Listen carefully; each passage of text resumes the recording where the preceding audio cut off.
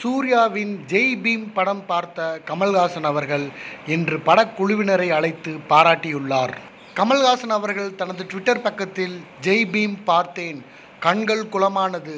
பழங்குடியினரின் இன்னல்களை அழுத்தமாக வெளிப்படுத்தி இருக்கிறார் இயக்குனர். பொது சமூகத்தின் மனசாட்சிக்கு குரலற்றவர்களின் குமுறல்களை கொண்டு சேர்த்த சூர்யாவிற்கும் ஜோதிகா மற்றும் படக்குழுவினருக்கும் மனமார்ந்த பாராட்டுக்கள் என்று தெரிவித்துள்ளார். அதற்கு நன்றி தெரிவிக்கும் வகையில் சூர்யா அவர்கள் தனது ட்விட்டர் பக்கத்தில் நீங்கள் வகுத்த பாதை விதை நீங்க போட்டது உங்கள் வாழ்த்துக்கும் அன்புக்கும் மனமார்ந்த நன்றி என தெரிவித்துள்ளார். பழங்குடியினர் மக்களின் நில உரிமைக்காக போராடும் ஓர் லாயரின் கதையாக ஜெய்பீம் உள்ளது.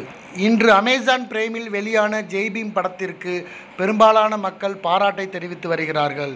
இந்நிலையில் உலகநாயகன் கமல்ஹாசன் அவர்களை பாராட்டியதால் சூர்யாவும் படக்குழுவினரும் மகிழ்ச்சியில் உள்ளனர்.